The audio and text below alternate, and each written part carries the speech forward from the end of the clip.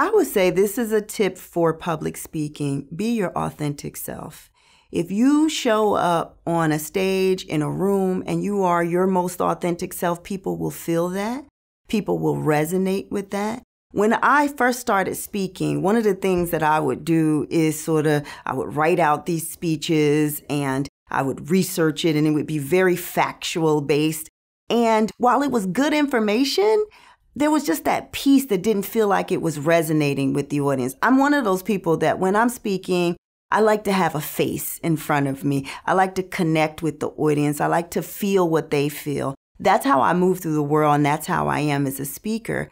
And it shifted for me one day when a best friend said to me, she said, You know, if you were to write and speak the way you are right now, then you it would impact and change your whole game.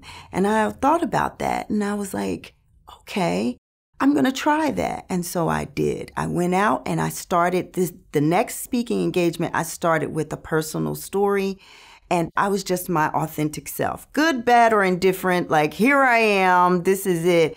And it resonated. I think from that one engagement, I ended up with three other speaking engagements, and that had been the first time and I thought, okay, I might be on to something.